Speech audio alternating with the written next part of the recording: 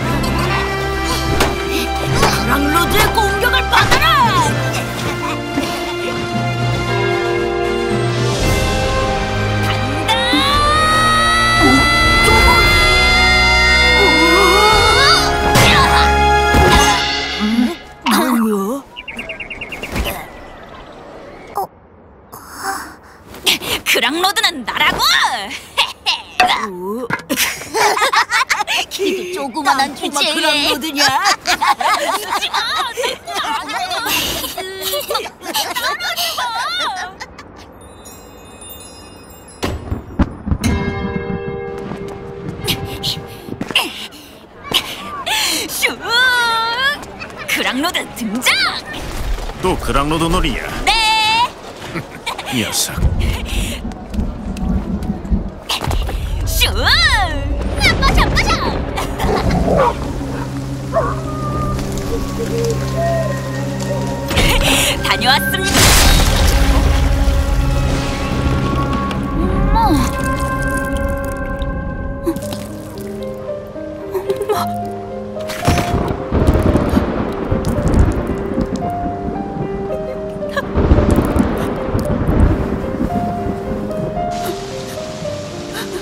처음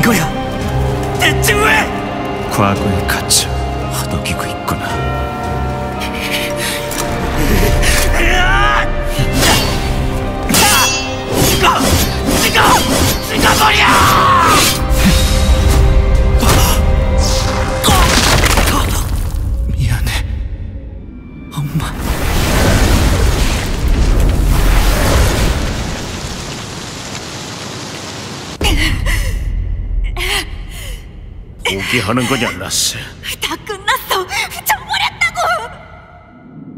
눈을 떠라 네 안에서 들려오는 목소리에 귀를 기울여라 나약한 인간. 너는 모든 것을 내던졌나? 나는 모든 것을 희생했나? 나는 나 어파의 집에 계약은 맺었다. 계약의 승리를 이 몸에!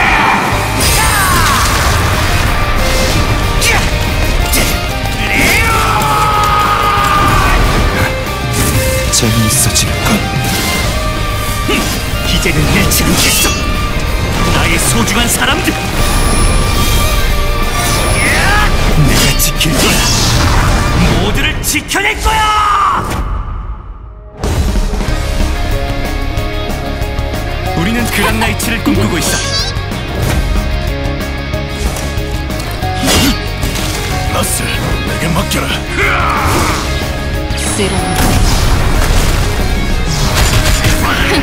만주에게 자비는 없어. 위험해.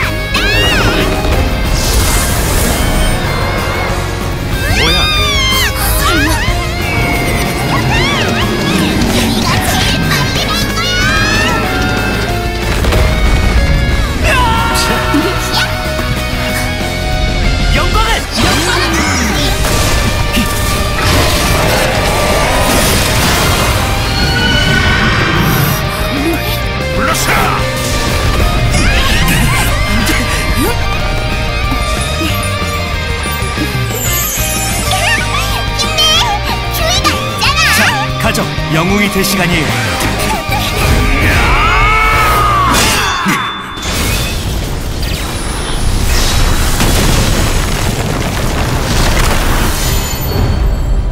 우리들의 미래를 건 단 하나의 약속. 그랑사가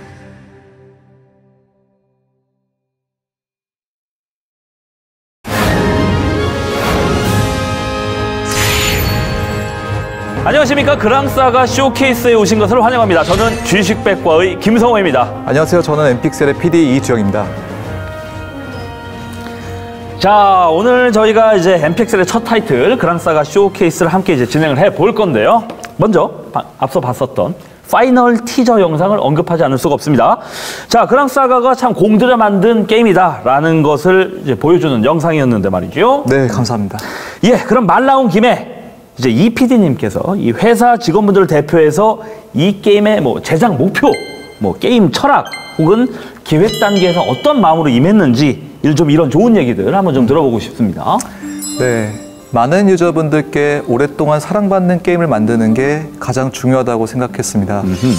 다양하게 즐길 수 있는 컨텐츠, 도전에 대한 성취감, 매력적인 캐릭터 등 많은 요소들이 종합적으로 잘 어우러지도록 하는 것이 이 게임의 제작 목표입니다.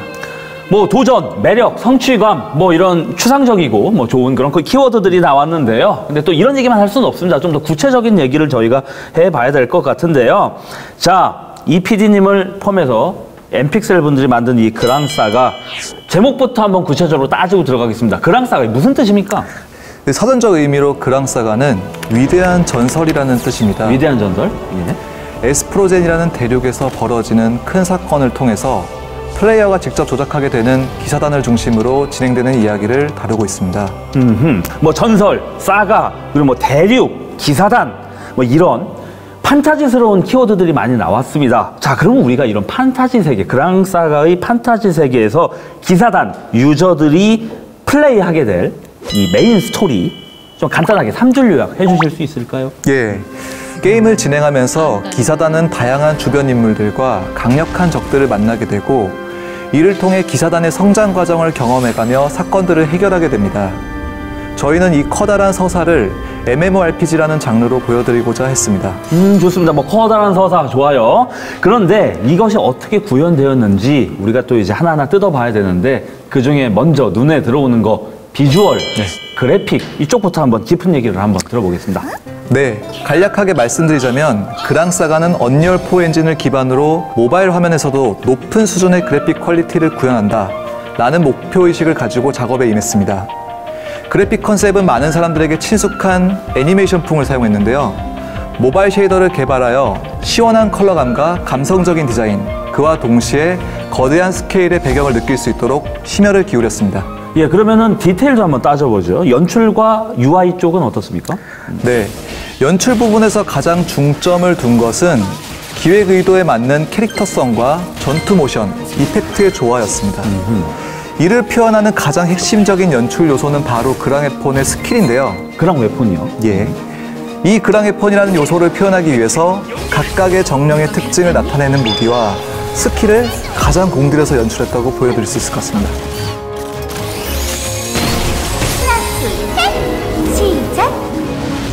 그리고 인터페이스의 경우에는 전체적으로 직관성을 중요하게 생각했고요. 디자인의 완성도에서도 상당히 심혈을 기울여서 유저분들이 게임의 감성을 UI 단계에서도 계속해서 이어나갈 수 있게 디자인했습니다.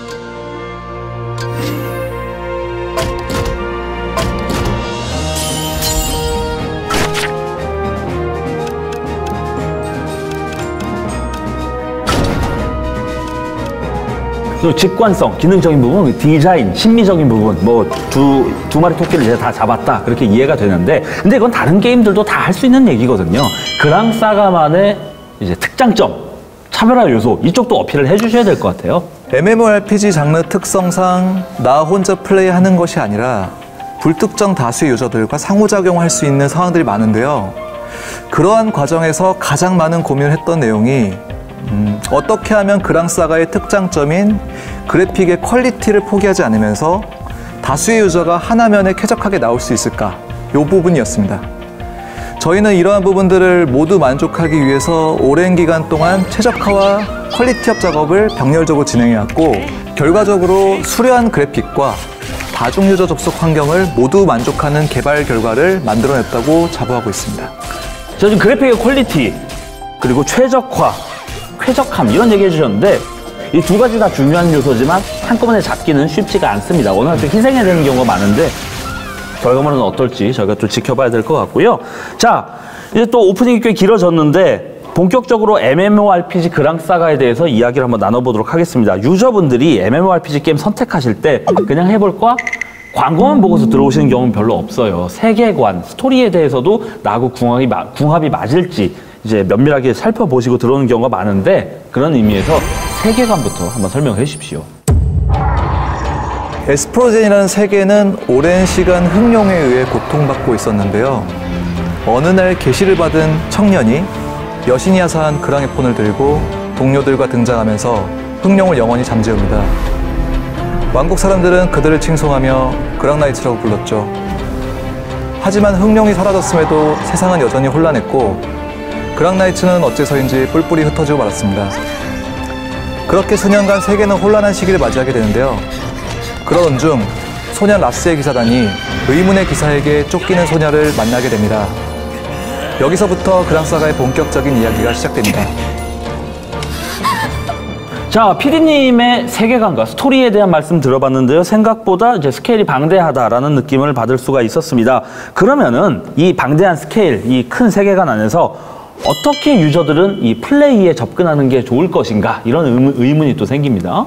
예, 보통 많은 MMORPG들이 아바타성을 가진 customizing 시스템을 차용하고 있는 반면에 저희는 캐릭터들의 성격과 스토리들을 미리 구축한 상태에서 플레이를 하게 됩니다. 플레이어는 라스를 필두로 한 기사단 일행이고 그들의 모험과 여정을 플레이하는 방식으로 스토리를 진행하고 있습니다. 예, 이제 캐릭터성 그리고 캐릭터 얘기가 나왔는데 이 부분을 궁금해하시는 분들이 많을 거예요. 좀 더 자세한 설명 부탁드리겠습니다. 기사단원 캐릭터들은 잘 짜여진 설정 기반이 있고요. 그에 따라 감정이입을 할 수 있는 상황을 만들게 되는데요. 감정이입이요. 예. 기사단원들의 과거, 인물들 간의 관계, 벌어지는 사건 등에 얽혀 이야기를 만들게 되는데 모든 이야기가 유기적으로 엮여 있기 때문에 그만큼 스토리에 몰입할 수 있습니다. 그리고 무엇보다 큰 스케일의 이야기는 자칫하면 거창하고 구태의연하게 느껴질 수 있기 때문에 그 호흡을 따라가기가 쉽지 않을 수도 있고요. 예. 커다란 줄기를 천천히 짧은 호흡으로 따라갈 수 있게 풀고자 했습니다. 음, 짧은 호흡으로 고상 빠르게 나오고 그런 식으로 가야지 이제 호흡을 네, 따라가기가 좀 편해지죠. 그런데 지금 이렇게 설명을 듣다 보니까 또 이제 그랑사가 기다리시는 분들이 호기심이 점점 생길 것 같은데 라스 이야기 나왔어요. 주인공 이름이겠죠? 그럼 라스 말고도 다른 캐릭터들이 확고한 캐릭터성을 가진 캐릭터들이 주르륵 설명이 나오겠구나. 네. 자연스럽게 또 기대를 하게 됩니다. 쭉 설명해 주시죠. 오늘은 이미 여러 플랫폼에서 공개되어 있는 여섯 명의 캐릭터를 먼저 소개해 드리겠습니다. 자, 여섯 명의 캐릭터. 그럼 그 중에 라스 주인공부터 한번 가볼게요. 예상하신 것처럼 라스는 기사단을 이끄는 리더이자 주인공입니다. 어린 시절부터 그랑나이츠와 그들의 리더인 그랑로드 레온을 동경하며 자랐습니다. 자신도 제2의 그랑나이츠를 목표로 하면서 열렬한 의지를 불태우고 있는 친구입니다. 앞서 라스의 기사단이 소녀를 만났다고 말씀드렸는데요. 이 소녀가 바로 세리아드입니다. 세리아드는 알 수 없는 이유로 기억이나 감정을 잃어버린 백지장 같은 캐릭터라고 말씀드릴 수 있을 것 같습니다. 그러다 보니 라스와 기사단 동료들이 이것저것 많이 알려주고는 있는데 어, 듣자 하니 맛있는 음식을 먹을 때가 가장 큰 관심을 보인다고 하네요. 위는 기사단의 듬직한 맏형입니다. 덩치만큼이나 넓은 아량으로 모든 단원을 포근하게 감싸 안아주는 그런 정신적 지주라고 말할 수도 있죠. 만약 기사단에 윈이 없었다면, 음, 글쎄요. 단원끼리 티격태격하느라 라스가 진땀 빼지 않았을까 싶네요. 퓨이는 천재라는 단어가 가장 잘 어울리는 귀여운 아이입니다. 어린 나이에 어울리지 않는 굉장한 마법 실력을 가졌는데요. 관심이 온통 돈에만 쏠려 있어서 단원들이 골머리를 앓고 있었습니다. 장난기 많고 돌발 행동을 많이 하곤 하지만 미워하기보다는 애정이 가는 그런 친구라고 할 수 있습니다. 기사단에서 가장 쿨한 것이 누구냐고 하면 단언컨대 나마리에라고 할 수 있습니다. 오랜 시간 용병 생활을 했던 탓인지 할 말은 다 하면서도 눈치를 보고 처신해야 될 때는 또 확실히 처신하는 인물이죠. 하지만 그런 나마리에도 아주 소박한 꿈이 있는데요. 그것이 무엇일지는 게임에서 직접 확인해 보시길 바랍니다. 카르트는 날카로운 외모만큼 날카로운 혀를 가진 독설가입니다. 목표에만 집중하는 성격 탓에 무엇이든 돌려 말하거나 눈치를 봐야 하는 것을 참지 못하는 뭐야, 그런 친구죠. 그가 이렇게 행동하는 이유는 말 못할 과거 때문인데요. 이 이야기는 게임에서 더 자세히 알 수 있을 겁니다.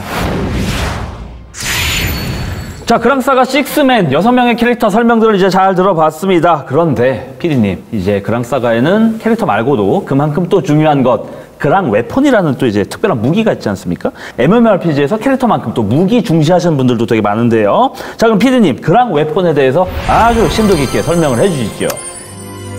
일단 말씀해 주신 것처럼 그랑 사가의 기사단원들은 모두 그랑의 폰이라는 무기를 사용하는데요. 그랑의 폰이란 그랑 소울의 힘이 무기로 형상화된 것을 의미합니다. 각각의 무기는 고유한 특성과 성격을 지니고 있습니다. 자, 고유한 특성과 속성. 이제 뭐 많이 이제 차용되는 그런 시스템적인 요소인데 좀 더 구체적인 설명을 해주셔야 될 것 같아요. 네, 그랑의 폰이 게임에 어떻게 녹아들어 있는지에 대해서 설명을 드리는 게 좋을 것 같은데요. 라스를 포함한 기사단 캐릭터들은 여러 종류의 그랑웨폰을 착용하고 전투를 하게 됩니다. 그랑웨폰은 각각의 성장 요소를 가지고 있고요. 고유한 개성의 skill을 사용할 수 있습니다. 예를 들면 대상을 속박시킬 수 있는 무기를 통해서 적을 묶을 수 있고요. 그랑웨폰을 일시적으로 소환해서 싸우거나 나 자신에게 그랑웨폰을 빙의시켜 전투를 하는 모습도 연출할 수 있습니다. 많은 그랑웨폰들을 성장시키면서 점차 내가 사용할 수 있는 무기의 범위가 넓어지고 선택의 폭이 생기게 되는데 이를 통해서 다양한 유형의 컨텐츠를 플레이할 때 전략적으로 무기를 선택할 수 있는 것이 그랑사가의 가장 큰 특징이라고 할 수 있겠습니다. 그리고 그랑웨폰에 대해서 자세하게 설명드린 김에 유저분들께서 가장 많이 기대하고 계실 quest와 전투에 대한 설명을 드리면 좋을 것 같은데요. 주요 사건을 중심으로 기사단은 큰 흐름의 퀘스트 라인을 따라가게 되는데요. 다양한 기사단원을 쉽게 교체할 수 있는 태그 시스템을 먼저 소개해드리겠습니다. 그랑사가는 한 캐릭터만 육성하는 것이 아니라 기사단에 소속된 다양한 캐릭터를 육성한다는 기조로 개발된 게임입니다. 이러한 캐릭터를 언제든지 활용할 수 있게 필드 전투 중에서도 자유롭게 교체할 수 있습니다. 캐릭터들은 각각의 속성을 대표하는데요. 잘 아시는 분도 있겠지만 속성 상성에 따라 전투의 효율이 달라집니다. 대상의 속성을 판단하여 각 캐릭터를 적재적소에 잘 활용하는 것이 중요합니다. 간혹 강력한 적이 등장할 때가 있는데요. 이때는 기사단 3인이 힘을 합쳐 싸우는 팀파이트를 할 수 있습니다. 내가 주력으로 육성하고 있는 3명의 캐릭터를 선택하고 조작을 하는 캐릭터를 변경해가며 전황을 관리할 수 있습니다. 이렇게 quest를 통해 다양한 사건을 해결하고 큰 사건의 중심에 도달하게 되는데 그 과정에서 다양한 캐릭터를 육성하고 활용하게 되면서 캐릭터 한 명이 아닌 기사단원 전체의 애정을 가지게 되는 것이 그랑사가의 큰 흐름이라고 말씀드릴 수 있을 것 같습니다.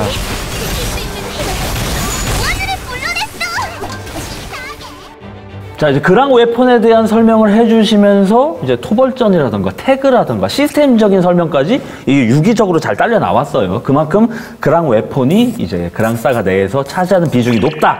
중요한 시스템이다. 이렇게 또 해석이 될 수 있겠는데요.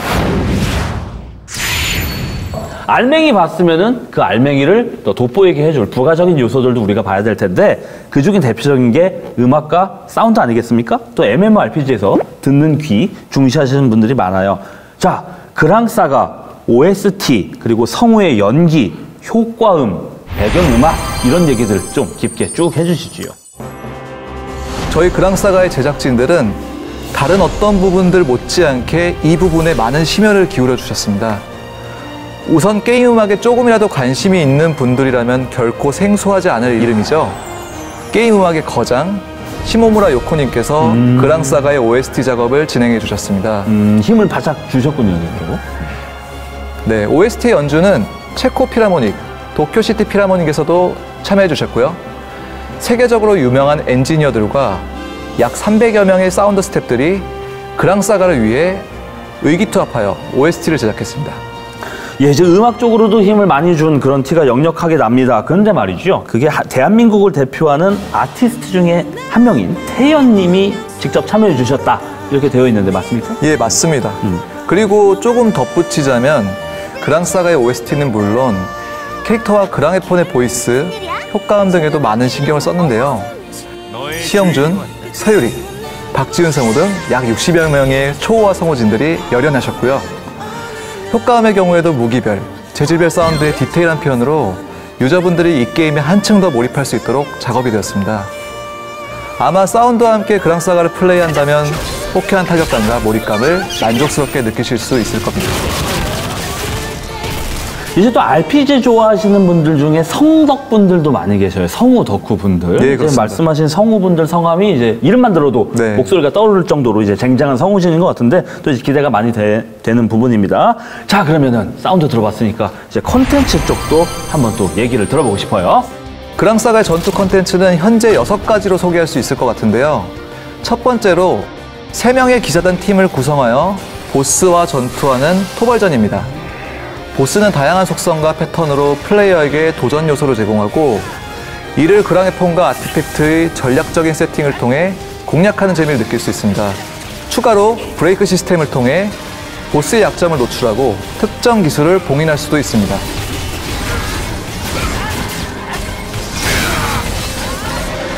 그 토벌전이라는 게 그 기사단 세명 캐릭터 협공하는 그거 말씀하시는 거죠? 네, 맞습니다. 그리고 심연의 회랑은 각 속성을 대표하는 몬스터와 전투하여 그랑웨폰의 한계 레벨을 올려주는 그랑스톤을 획득할 수 있는 컨텐츠입니다.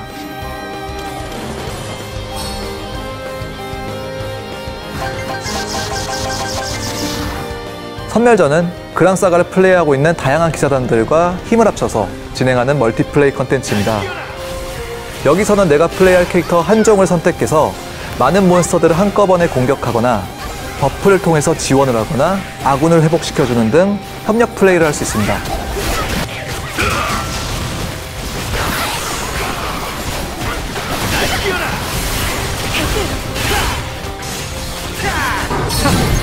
모든 게 예상된 결과로 결투장은 다른 기사단과 승부를 겨룰 수 있는 컨텐츠입니다. 자유롭게 나만의 캐릭터 편성과 세팅을 통해서 전략적으로 전투를 할 수 있는 것이 특징입니다.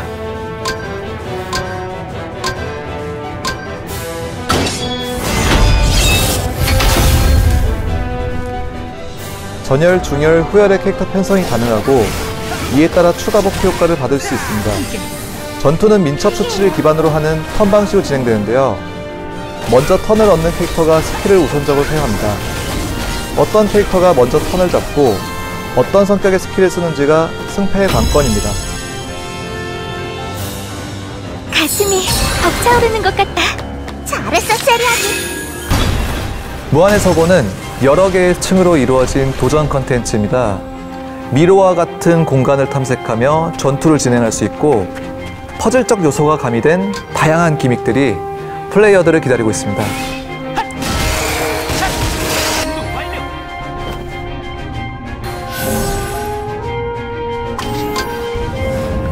특정한 시간대에 등장하는 보스 강림 컨텐츠도 있습니다.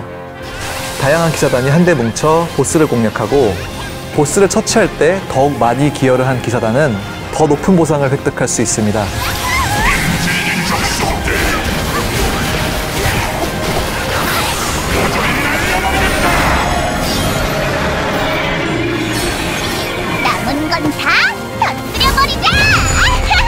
자 이제 뭐 결투장, 그 무한의 서고 그리고 특정 시간대에 등장하는 보스 강림 뭐 이제 많은 컨텐츠 얘기를 들어봤는데 근데 저는 이제 또 토벌전 쪽에 관심이 많이 가요. 내가 키우는 세 개의 캐릭터들을 이제 한 전투에서 한꺼번에 사용한다. 이 부분이 이제 매력적인데 그랑사가는 장르가 MMORPG 아닙니까? 네. 이 부분이 다른 유저들하고의 상호작용, interaction하고도 많이 연관이 되어 있을 것 같아요. 이 얘기가 그 부분 좀 깊게 얘기해 주세요. 결국 그랑사가가 표방하고 있는 장르는 MMORPG죠. 제가 생각하는 MMORPG의 백미는 많은 유저들과 온라인에서 상호작용하며 나를 표현하는 것이라고 생각하는데요. 주요 활동을 하는 대도시인 나그나데아에서 다양한 유저들과 교류할 수 있습니다. 그 과정에서 나를 표현할 수 있는 커스터마이징과 다양한 감정 표현들이 준비되어 있고요. 우연히 만나서 같이 파티도 맺고 사냥도 하다 보면 길드를 결성하여 뭉칠 수 있게 되는데 길드 단위로 협력할 수 있는 컨텐츠를 통해서 더욱 끈끈한 관계로 발전할 수 있습니다. 자, 이게 또 게임을 하면 또 이제 살짝 찍먹을 해보니까 얼른 또 이제 각 잡고 제대로 해보고 싶다라는 또 마음이 듭니다. 근데 이게 사전 이야기 또 언제부터죠? 네, 안 그래도 멀지 않았습니다. 그 바로 설명드릴 내용이 그랑사가 사전 이야기 일정에 대한 내용인데요. 그랑사가의 사전 이야기는 11월 13일, 바로 오늘부터 시작될 예정입니다. 어, 아래 사이트 주소를 통해서 사전 예약에 신청하실 수 있습니다. 네. 출시일은 사전 예약 기간 중에 공개될 예정이니 기다려 주시면 감사하겠습니다. 자, 많은 분들이 신청을 기다리고 계실 것 같습니다. 또 많은 분들이 또 궁금해 하실 거예요. 뭐냐? 아무리 게임 잘 만들어도 업데이트 전략, 그리고 유저와의 소통, 이거 안 되면 아무 의미가 네. 없는 거거든요. 업데이트 전략과 소통에 대해서 깊은 말씀 부탁드립니다. 네. 당연히 출시 이후 빠르게 대규모 업데이트도 이제 준비가 되어 있습니다. 그 우선 개인 경쟁 컨텐츠와 길드 컨텐츠가 있는데요. 이 컨텐츠를 통해서 그랑사가에서 MMORPG 장르가 가질 수 있는 어, 대규모 전투의 재미를 느낄 수 있습니다. 또한 저희 게임을 사랑해 주시는 유저분들이 지속적으로 새로운 재미를 느낄 수 있도록 그랑사가의 세계를 더욱더 확장시켜줄 신규 캐릭터와 신규 맵도 업데이트될 예정입니다. 그뿐만 아니라 엔픽셀에서는 유저분들과 적극적으로 소통하기 위해 출시 전부터 그랑사가의 다양한 채널을 운영하고 있는데요. 공식 카페, 페이스북, 인스타그램, 트위터, 유튜브 등을 통해서 어, 그랑사가의 소식을 제공해드리고 있는데요. 어, 앞으로 풍성한 커뮤니티 이벤트와 경품도 제공해드릴 예정이니 절대 놓치지 마세요. 특히 유튜브 같은 경우에는 기존 게임 채널에서 볼 수 없는 흥미롭고 색다른 컨텐츠들이 아마 순차적으로 공개될 예정인데요. 구독과 좋아요, 알람 설정 부탁드리겠습니다. 조태꾸로 응원해 주십시오. 조태꾸는 좋아요, 댓글, 구독 알림입니다. 이런 거 이제 안 창피해하고 하실 수 있어야 됩니다. 예, 좋습니다. 자, 그러면 이제 마지막으로 이제 가장 중요한 코너가 남아 있는데요. 기자분들한테 이제 받은 질문 리스트가 많이 있습니다. 이제 또 시기가 시기이니만큼 언택트 아닙니까? 그러니까 기자분들을 대신해서 제가 Q&A를 진행하고 오늘 쇼케이스를 마무리하면 될 것 같습니다. 음. 됐습니다. 긴장되네요. 예, 좀 긴장이 많이 되실 것 같은데 이제 날카로운 질문들이 많이 있을 네. 거예요. 이제 쉬운 질문들만 있지가 않아요. 그랑 웨폰이 스킬과 직결되어 있다 보니 음, 밸런스상 특정 그랑 웨폰만 이제 또 주목을 받게 되는 경우가 많이 있을 거다. 소위 네, 말해서 그렇습니다. OP 무기죠. 음, 네, 그렇습니다. 그랑 웨폰의 다양한 쓰임새와 적절한 밸런스 어떻게 확보할 것이냐 이런 질문이 있어요. 네, 일단 저희가 캐릭터들이 가진 속성과 그 특징에 따라서 아마 이제 개성 분리가 될 거거든요. 어, 그 가령 예를 들자면 서포터적인 특징이 강한 세리아드 같은 경우에는 이제 수속성 스킬을 사용하는데 그 경우에 이제 보호막 같은 스킬들을 사용해서 생존력을 높여주는 그런 기능들이 있습니다. 이런 것들은 어, 윈이나 카르트 같은 캐릭터가 대체하지 못하는 형태로 저희가 구성을 해놨고요. healer나 파티 buffer의 역할은 어, 네. 아주 중요하고 예. 딴 애들이 대체 네, 못하는 거죠. 맞습니다. 그리고 이런 특징들이 각 컨텐츠 단위로 그 이제 이점을 발휘하게 되는데 예를 들어서 이런 것들이 결투장 상성 관계라든지 뭐 특정 보스의 공략 포인트로 활용되게 하려고 합니다. 음, 각 컨텐츠별로 그 공략 포인트별로 이제 네. 그 그랑 웨폰 그리고 각 캐릭터들의 이제 역할이 네. 확실하게 분리되어 네, 있을 것이다. 버려지는 캐릭터도 당연히 없을 거고요. 네, 그렇습니다. 뭐 이상적인 얘기입니다만 이제 그렇게 밸런스 좋게 구현되기를 또 바라보고요. 예. 자, 다음 질문도 한번 드려볼게요. 그러면 보스전과 지형 지물이 많은 필드에서 제한적인 시점이 어려움으로 다가오는 경우가 많다. 시점, 시점 문제. 상황에 따라 시점을 바꿀 수 있는 기능을 고려하고 있는지 궁금하다. 이거 저도 이제 개발해본 입장에서 네. 시점, 시선이 자유로워지면 유저는 좀더 이제 자유도 높게 플레이할 수 있지만 그만큼 구현해야 되는 지형의 각도가 넓어져요. 여기만 보여주면 뒷, 뒷부분은 그냥 횡하게 우주 공간으로 놔둬도 되는데 맞습니다. 구현 난이도가 훨씬 높아진단 말이죠. 어떻게 네. 해결할 수 있습니까? 맞습니다. 이게 CBT 기간에 굉장히 많이 들어온 피드백 중에 하나인데 저희가 이제 최대한 그 이제 추가 조작이 없이 보스와 내 캐릭터들을 focusing 해주는 것을 할 수 있게 하는 게 목표고요. 여기서 발생할 수 있는 이제 카메라의 불편함은 이제 유저가 이제 앵글 조작으로 좀 보완을 하려고 하고 있습니다. 전투에서는 사실 보는 맛도 굉장히 중요하다고 생각을 하거든요. 그래서 여기에 적절한 view가 분명히 존- 존재를 하거든요. 그래서 이 중간점을 잘 찾, 찾을 수 있도록 저희가 지금 계속 개선 진행 중이라고 볼 수 있을 것 같습니다. 음, 완벽한 자유도의 마치 PC MMORPG 같은 그런 360도 view와 예. 고정 view와 예, 그 예. 사이에서 예. 가성비 높은 네. 절충안을 찾아보겠다. 자, 그럼 그 다음 질문도 한번 들어보겠습니다. 음, 비공개 테스트 기간이 짧았어요, 그렇죠?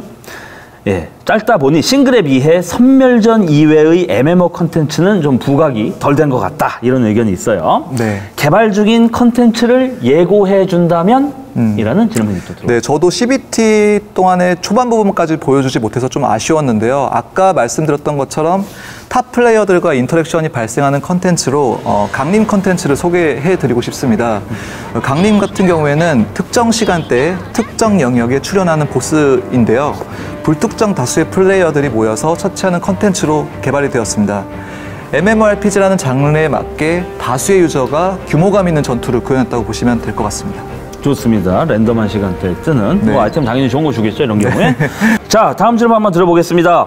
MMORPG의 수집형 RPG 요소를 가미한 시도를 보였는데 서로 다른 스타일의 두 장르를 섞은 이유가 무엇인가? 이거 걱정할 만해요. 이게 결국엔 그 오랫동안 재미를 줄 수 있는 게임을 만드는 게 목표였거든요. 근데 이제 사실 기존 RPG 같은 경우에는 성장, 더 높은 성장, 더 높은 성장, 더 높은 성장을 계속 추구하다 보면은 수직 성장형 예, 게임이죠. 결국에는 지루함이 발생할 수밖에 없다고 생각을 했었고요. 현타도 많이 오고요. 네, 이런 부분에서 좀 반영을 해야 되는 영역이 바로 이제 수집형 RPG에 많이 있는 전략성 있는 전투를 만드는 게 가장 중요한 포인트라고 생각을 했거든요. 그런 그림을 만들기 위해서는 세팅이라는 게 조- 존재를 해야 되고요. 그 세팅의 선택 기준은 단순히 강함의 우열이 아니라 선택에 대한 다양한 기호가 게임 속에서 나타나야 된다고 생각을 했습니다. 선택. 네. 그래서 런칭 이후에 그랑 사가는 앞으로도 꾸준히 새로운 그랑 웨폰을 만들 것이고 그랑 웨폰은 단순히 능력치뿐만이 아니라 경험의 변화를 계속 이끌어 나가야 된다고 생각을 하고 있거든요. 그 안에서 다양한 조합이 발생하고 세팅을 고민하게 만들어서 깊이를 게임의 깊이를 더해 나가야 될- 된다고 생각을 했습니다.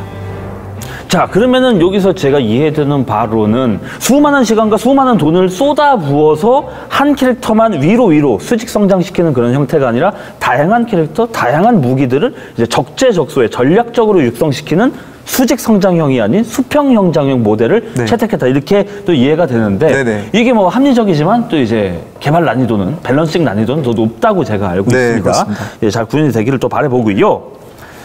자, 다음 질문 한번 드려볼게요. 캐릭터가 여섯 명이라서 전부 육성하기에는 어려움이 있다. 빠른 육성을 위한 경험치 아이템처럼 이제 성장을 도울 수 있는 어떤 부스팅 요소가 있느냐, 추- 추가될 예정이 있느냐. 네, 저희가 이제 다 캐릭터 육성한다는 게 전제가 되다 보니 이에 따라 이제 캐릭터의 레벨업에 대한 별도의 조정이 좀 진행이 되고 있습니다. 주요 캐릭터를 키우면서 또 다른 캐릭터를 선택하는 부담을 줄이고자 기사단 캐릭터들이 동시에 성장할 수 있는 육성 편의를 제공할 예정입니다. 다음 질문 들어가 보겠습니다. 그랑사가는 지난 9월 1차 CBT를 진행한 것으로 알고 있어요. 1차 CBT 때 나온 의견들이나 불만 사항들에 대한 개선도 이제 준비를 하고 있습니까? 아, 예, 그렇습니다. 그 1차 CBT를 통해서 어, 많은 긍정적인 반응도 확인했지만 유저 시각에서 느낄 수 있는 다양한 부분들에 대해서는 아직 좀 미흡했다는 부분도 확인했습니다. 아까 질문 주셨던 조작감이나 최적화 문제, 다소 번거로운 이제 유저 동선과 같은 부분들이 아마 주요 내용들을 차지하고 있었는데요. 해당 부분의 내용들은 1차 CBT에서 확인할 수 있었다는 점에서 일단은 저는 매우 긍정적으로 생각하고 있습니다. CBT가 진행되는 중에도 엠픽셀은 해당 내용에 대해서 빠르게 취합한 후 개선 작업을 이미 시작했고요. 저희 게임을 선보이게 되는 시점에는 좀 더 완성도 있- 있는 모습을 보여드릴 수 있을 것 같습니다. 아, 앞으로도 좋은 의견들을 적극적으로 수용해서 개선해 나갈 예정입니다. 자, 좋습니다. 그러면 이제 개인적인 질문 하나 또 드려보고 싶은데 괜찮아요? 네, 그- 음, 좋습니다. 이거 괜찮습니다. 긴장하셔야 될 거예요. 출시 기간 이제 오래 기다렸다가 막상 출시되고 나서는 이제 견적이 잘 안 나와. 그럼 그냥 던져버려요. 유저들은 호수의 유저라도 애착을 갖고서 이제 길게 보고서 이 게임은 MMORPG를 즐기시는데 게임 던지게 해버리고 알아서 떨어져 나갈 때까지 이런 행태는 이제 상당히 실망스럽거든요. 나몰라라식 운영이라고 하는 그 얘기는 사실 결국 소통의 문제라고 생각을 하고 있거든요. 보통 소통은 쌍방향이잖아요. 결국 게임을 이끌어 나가는 것은 대다수의 플레이어고 그런 플레이어들과 적극적으로 소통해야만 게임이 계속 발전할 수 있다고 생각합니다. 소통이 제일 가치예요. 예, 그렇습니다. 사실 그랑사가라는 게임은 굉장히 도전적인 게임입니다. 게임성이나 사용성 측면에서 봐도 굉장히 많은 요소들을 플레이어분들에게 납득시켜야 하는데요. 이를 위해서 수많은 구성원들이 노력하고 있고 현 시점에도 굉장히 많은 고민들을 하고 있습니다. 이런 게임을 서비스하는 입장에서 소통을 단방향으로 하는 것은 사실 말이 안 되는 거거든요. 롱런하는 게임을 만들고 싶지 않은 개발자는 없잖아요. 최대한 플레이어분들의 목소리에 귀를 기울여서 개발사와 유저분들의 거리를 1픽셀이라도 좁혀야 된다고 생각하고 있습니다. 음, 엠픽셀스러운 이제 말씀. 네. 그래서 이제 그랑사가는 이제 수많은 MMORPG들 중에서 새로운 취향 내지는 대안이 되었으면 좋겠습니다. 많은 분들의 애착과 노력으로 만든 게임이니만큼 좋은 서비스로 선보일 것을 약속드리겠습니다. 서비스로 뭉개지 않도록 좀 더 유저 친화적인 표현으로 하자면 불만 생기면 사료 뿌려서 잠재우는 그런 식의 운영은 이제 좀 지양해야 될 때가 됐거든요. 1픽셀이라도 M픽셀이니까 1픽셀이라도 다가가겠다. 되게 이제 네. 감명 깊은 표현인데. 소통 많이 하세요. 이제 온라인 게임사한테 가장 요구되는 덕목인 것 같아요. 자, 엠픽셀의 신작 MMORPG 그랑사가의 쇼케이스도 마지막을 향해 달려가고 있습니다. 자, 그럼 이 PD님 끝으로 또 하실 말씀 없으십니까? 네, 계속해서 말씀드렸지만 저희 엠픽셀 150명이 넘는 직원들이 3년 넘게 준비한 게임. 그랑사가는 그 무엇보다도 유저분들의 재미와 즐거움을 목표로 달려왔습니다. 정말로 이렇게 여러분께 선보일 시간이 다가오니 솔직히 설레는 마음 반, 떨리는 마음 반인 것 같은데요. 열심히 준비한 만큼 자신있게 말씀을 드리고 싶습니다. 유저분들의 기대에 부응하겠습니다. 예, 정말로 자부심 넘치는 그런 말씀이셨는데요. 재미와 즐거움, 그 약속을 지켜주실 수 있을지 한번 지켜봐야겠습니다. 어쨌든 이제 정말 2020년 엠픽셀의 새로운 시작을 알리는 MMORPG 그랑사가의 온라인 쇼케이스 이제 또 긴 시간 지켜봐 주신 분들께 진심으로 감사의 말씀 드리면서 또 이제 그랑사가의 첫 번째 광고 보시면서 저희는 이만 물러가도록 하겠습니다. 주식백과의 김성우였습니다. 저는 이두영이었습니다. 감사합니다. 위대한 기사여, 이 검에는 위대한 영혼이 깃들어 있나니 이 검을 뽑는 자가 복수를 완성하고 흥룡을 무찌를 것이다. 아주 먼 옛날 어느 왕국에 도착한 나그네로부터 이야기는 시작된다. 재밌구만. 재밌어. 그랑사가 진행시켜.